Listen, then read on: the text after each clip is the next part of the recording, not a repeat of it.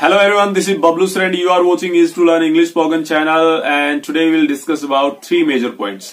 आज हम तीन ऐसे पॉइंट्स की बात करने वाले हैं जिसमें कहीं ना कहीं बहुत बार प्रॉब्लम क्रिएट हमारे लिए हो जाती है। पढ़ने में भी और जब पढ़ने में होती है तो ऑब्वियसली बोलने में भी होने वाली होती है। So I hope you are enjoying in your life और as well as my channel also so without taking more time I am going to start शुरू करने के लिए जा रहा हूँ। सबसे पहला पॉइंट है हमारा T H so T H को आप द बोलते हो या फिर थे बोलते हो ये बहुत मैटर करता है। क्योंकि पढ़ने में जब आप गलत पढ़ेंगे जहाँ आपको द बोलना था आप इसको थे ले रहे हो जहाँ थे बोलना था वहाँ द ले रहे हैं। तो ऑब्वियसली स्पोकन भी हमारा इंप्रेसिव नहीं होगा क्योंकि हमें करेक्ट प्रोनाउंसिएशन नहीं पता होगी। सो so, आज के बाद ये डाउट आपका क्लियर हो जाएगा और इन कमिंग टाइम आप इस चीज़ को कॉन्फिडेंस के साथ बोल भी पाएँगे और समझ भी पाएँगे। सो so, सबसे पहले बात करते हैं कि टी एच को द कब बोला जाता है। सो ध्यान रखिएगा टी एच को द बोलने के लिए आपको ये हमेशा ध्यान में रखना है। जब भी टी एच के बाद ई e आएगा, उस कंडीशन में हमेशा टी एच को द बोला जाता है। कुछ वर्ड्स की बात करते हैं, जैसे दीज तो आपने देखा द बोला क्योंकि यहाँ पे ई e आया टी एच के बाद। सो दीज मदर तो मदर में भी आपने देखा ई e आया सो इसलिए द हो गया मदर अदर या फिर बात करूँ यहाँ पे ब्रिथ ये ब्रेथ नहीं है, क्योंकि उसमें ई नहीं होता है। सो ये है? ब्रिथ दे आपको बोलना है, या फिर रादर तो आपने देखा इन सब में, या फिर फादर इन सब में क्या है कि आपने द बोला, क्योंकि टी एच के बाद ई आया। दूसरा पॉइंट ये कि अगर टी एच के बाद ई ना हो तो उस कंडीशन में क्या होगा? टी एच थ होगा, द नहीं होगा। कुछ वर्ड्स देखिए। जैसे पहला वर्ड हो सकता है बात तो इसमें क्या है कि टी एच के बाद ई नहीं है, इसलिए हो गया बात या फिर थ्रू इसमें भी देखिए, आप यहाँ पे ई नहीं है इस तरीके से। थिंक इसमें भी ई नहीं आया। मिथ इसमें भी ई नहीं आया आपका। बोथ या फिर अर्थ सो इस तरीके से इनकमिंग टाइम आप थे और दे को अच्छे से समझ पाएँगे। थोड़ा सा ध्यान रखने वाली बात है, ज़्यादा कुछ इसमें डिफिकल्टी आई होप आपको इन फ्यूचर नहीं होने वाली।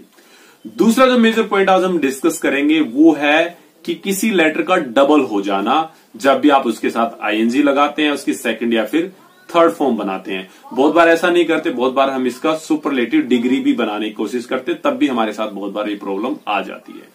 सो so, ध्यान में रखना कोई भी लेटर डबल कब होता है? चाहे वो आईएनजी लगाने की बात है सेकंड फॉर्म बनाने की बात सुपरलेटिव डिग्री करने की बात है।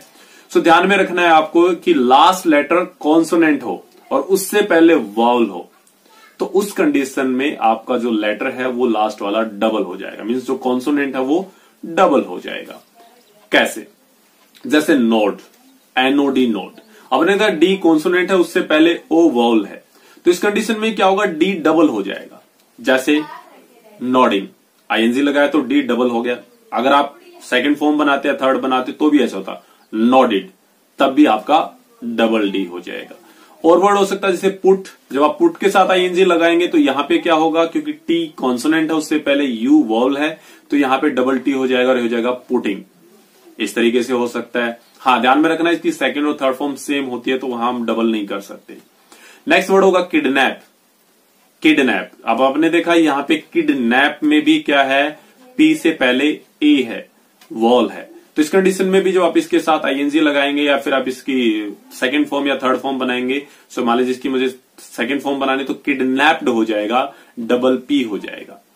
या फिर ऐसे में बात कर सकता हूँ हॉट तो जब मैं हॉटेस्ट करूँगा तो क्या हो जाएगा? यहाँ पे डबल टी हो जाएगा हॉटेस्ट अब क्या होगा कि डबल कैसे नहीं होगा? मैंने अभी बताया आपको कॉन्सोनेंट से पहले वॉल होगा लास्ट वाले कॉन्सोनेंट से पहले वॉल होगा तो डबल होगा।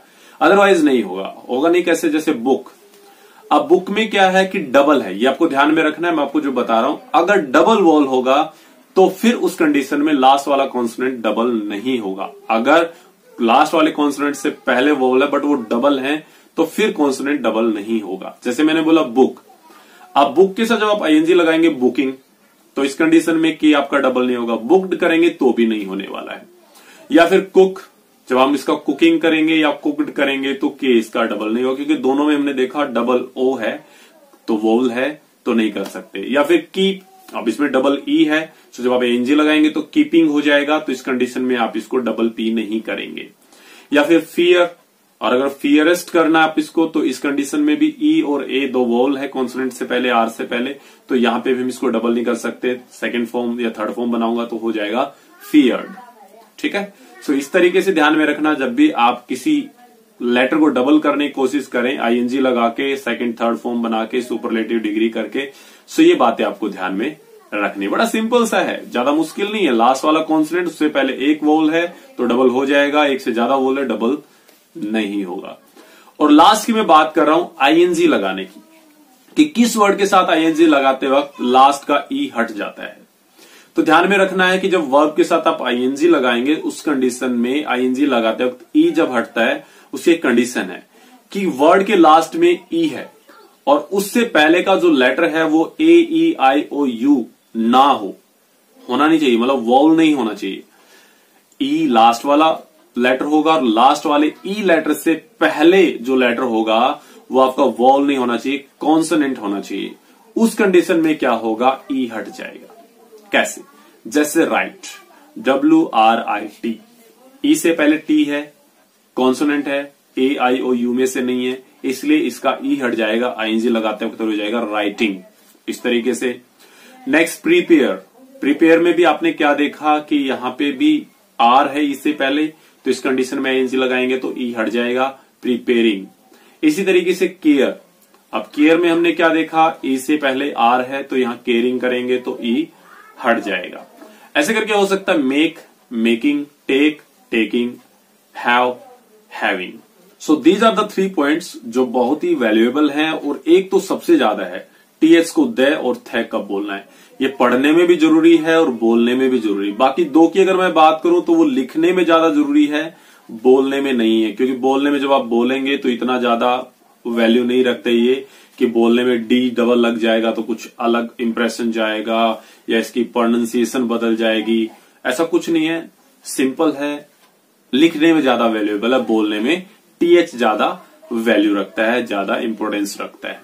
बट तीनों ही पॉइंट बहुत ज़रूरी हैं स्पोकन के पॉइंट ऑफ़ व्यू से और इंग्लिश की नॉलेज के अकॉर्डिंग इजी है, छोटे पॉइंट है, छोटे देख के छोड़ मत देना, क्योंकि बहुत ज़रूरी है ये इंग्लिश को लेके।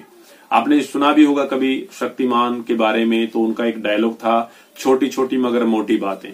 तो ये छोटी छोटी बातें बहुत बहुत ज़रूरी है। सो यूज़ कीजिएगा इनको अपने स्पोकन के अंदर। मिलते नेक्स्ट वीडियो में। Till then have a nice time और हाँ चैनल को सब्सक्राइब करना बिल्कुल मत भूलिएगा। और वीडियो अच्छा लगा तो वीडियो कर लीजिएगा। लाइक सेफ़ रहिए।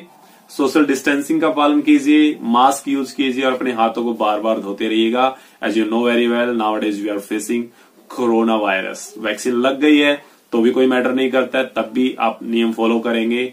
और नहीं लगी है तो लग जाएगी in coming time so have a nice time